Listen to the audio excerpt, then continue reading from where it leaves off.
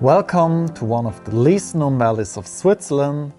This is the mystical Val d'Hérens, a place that charms with its unique nature and beautiful villages. One of them is Evolène, an underrated destination that really deserves more attention. In this video I'll be guiding you through this very well preserved village. Who knows, maybe this alluring town in the canton of Wallis might land on your list for your future Switzerland trips.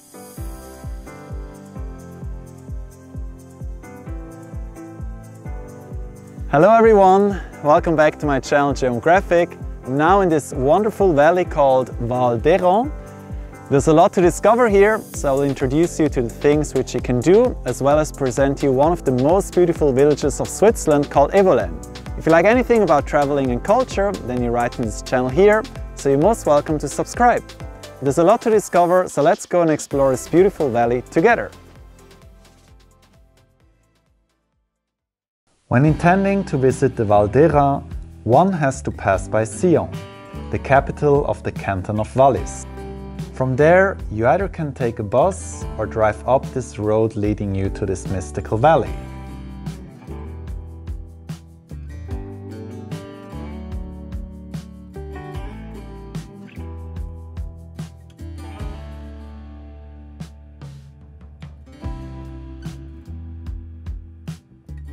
On your way, you will pass multiple villages and then arrive at the first point of interest.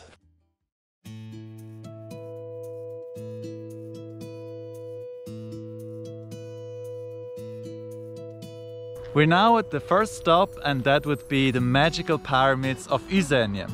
You can see there is a tunnel so cars can pass through. I think there's no better way to be welcome to this valley. These pyramids are the result of a process that started millennia ago. During the Ice Age periods, the glaciers transported large amounts of debris which were formed into a concrete-like mass. When the glaciers retreated, the moraines were exposed to wind and water and started to erode. However, a few spots were covered by massive rocks with weights up to 20 tons. These rocks protected the mass below while the surrounding parts continued to erode, which resulted in the formation of these pyramids. However, as the erosion continues, eventually these pyramids are also going to disappear within the next decades to centuries.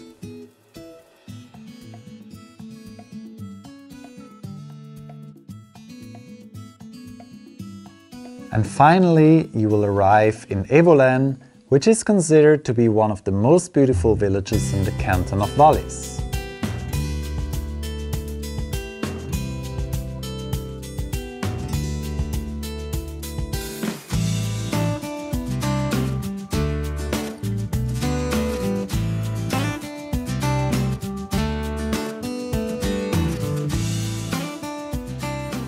I'm now in this wonderful village called Evolène.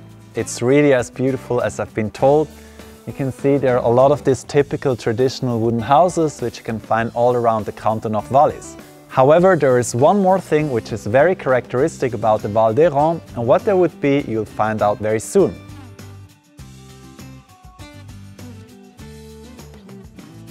In contrast to Zermatt or Saas-Fee that attract numerous tourists every year, Evolène charms with its quiet atmosphere.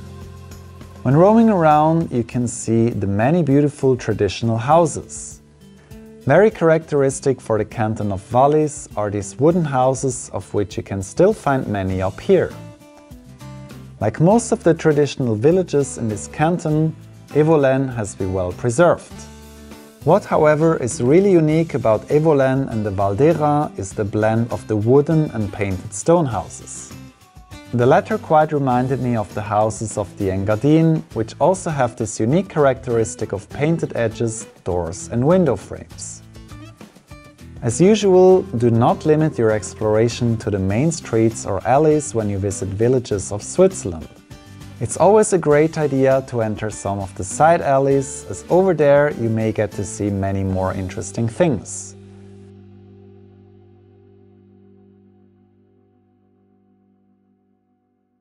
It's a rule of thumb that the most beautiful and best preserved old houses are located around the main street, while the ones in the side alleys are more raw.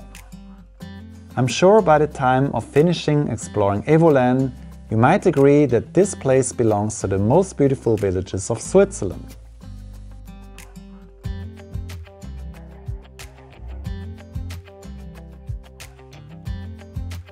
After exploring Evolène, you should go up to La Sage. Over there you can go for a walk, approaching the cliffs, from where you can enjoy a spectacular view over the valley.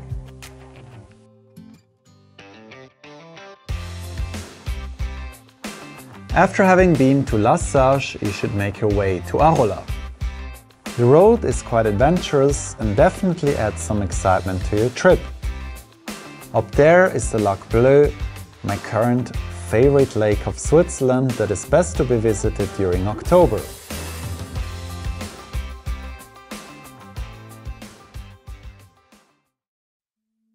Arolla itself really feels empty. In a way, this is what really fascinated me so much about it. I'm now up on 2000 meters in this village called Arolla and just behind me we have a spectacular view on the glaciers. I really love the climate up here. It's very cool, the air is very fresh and all in all it's very peaceful.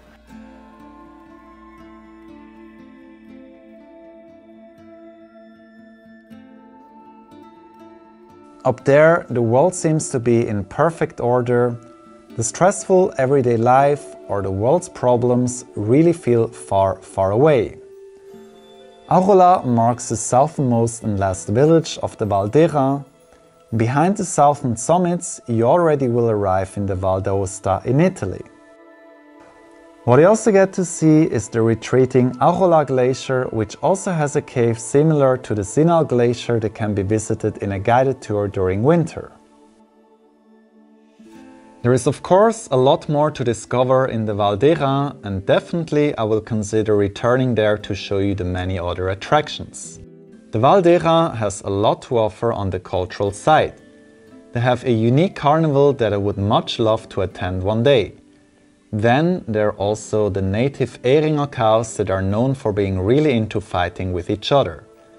Furthermore, the Val d'Hérens is one of the few remaining regions of Switzerland in which the Franco-Provençal dialect Patois is still very much alive. It used to be once the standard dialect of the French-speaking part of Switzerland, however during the last century the French language has been taking over. I assume that the pronunciation of this valley, Val roots in Patois itself. Reading the name in modern French would mislead one to pronounce it as Val. I hope you've enjoyed watching this video. If you did, please give it a thumbs up, share it to your friends, subscribe to Djemo Graphic. I would be really happy if you would do that. So that's it from my side. We're going to see each other very soon.